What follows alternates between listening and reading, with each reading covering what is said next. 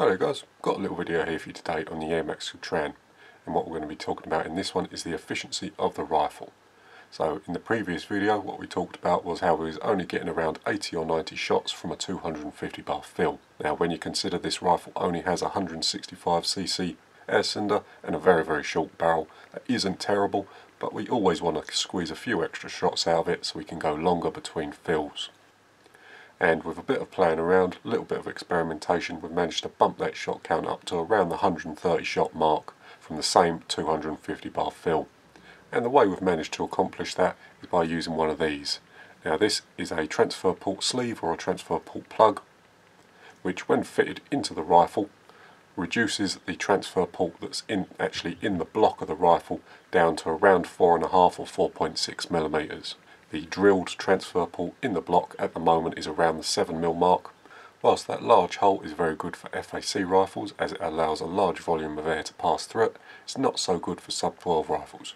It's not that great for the sub 12 rifles as the air is able to expand before it gets to the back of the pellet. So what happens is it expands before it hits the back of the pellet, losing a small amount of energy and slowing the potential velocity of the pellet down. To overcome this, what we have to do is hit the valve harder, release more air so it's not able to expand as quickly as it travels through the block. And then that's where this little plug comes in. The little plug stops the air from expanding so quickly, so more energy is available to the back of the pellet, and we can wind off the hammer spring a little to increase the efficiency of the rifle. The little plug allows us to use a lower hammer spring setting for the same amount of power. So we can wind a little off the hammer spring the hammer will hit the valve a little softer and will waste less air pushing the pellet out the end of the barrel. Anyway, that's a quick explanation of how it works. I'll just briefly show you how it fits. And the first thing we're going to do is remove the barrel shroud. So this just unscrews. We'll take that off, stick it to one side. That exposes the barrel. We can then remove the barrel via these two screws here. The front one is a 3mm.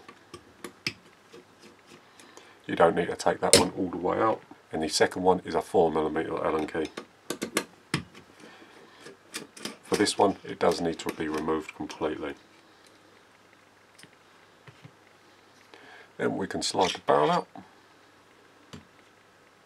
And if we look down this hole here, that's the transfer port hole. So I don't know how well the camera's going to pick that up, but in that hole you can just about see the valve pin. So that's the drilling which connects the valve, so around this area here, to the back of the barrel.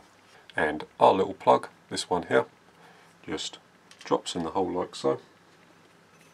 And then with a 5mm Allen key, I'm just going to do that in. If you look in this side with the pellet probe retracted, you can just see it sticking up there. We screw that in till it's flush. So around there. So once that's in there, we can really install our barrel. So we just align the two flats with the top, put it in like so, rotate it roughly till flat, and then we'll do the front one up first. That's again with a 3mm Allen key, just doing it till it touches, giving the barrel a little wiggle to make sure it's nice and flat, and doing it up nice and tight. The back one can be reinstalled with a 4mm Allen key. Then we can just screw the shroud back on.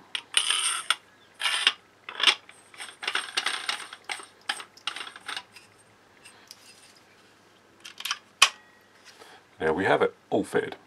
And the final thing we needed to do once fitting the plug was readjust the hammer spring so we were getting the same power. That's very very easy to do. So on the bottom here we have this locking screw. So with a 2.5mm Allen key, loosen the locking screw. And once the lock's been loosened you can use a 5mm Allen key just in the back of the hammer spring adjuster there to readjust your power. So very easy to do. All you need to do is run the rifle over the chronograph and then readjust the hammer spring to suit. So doing the screw in or clockwise increases the power and loosening the screw or doing it counterclockwise decreases the power. So I've already done it for my rifle, this has been fully tested over the weekend so I'm going to leave mine where it is and just do up the locking screw again with a 2.5mm Allen key. And then that's it. So from a 250 bar fill we were getting around 80 or 90 shots. We've now bumped that up to around 130.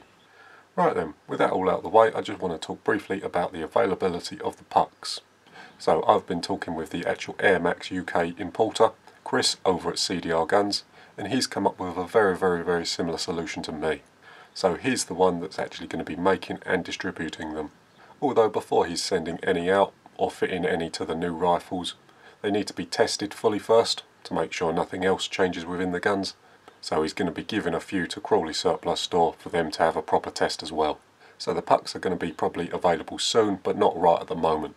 So Chris, the importer, does actually have a YouTube channel, CDR Guns. So if you're interested in updates and everything like that, it's well worth following him. I'm sure he'll release a video of how to fit it and all that once they're ready.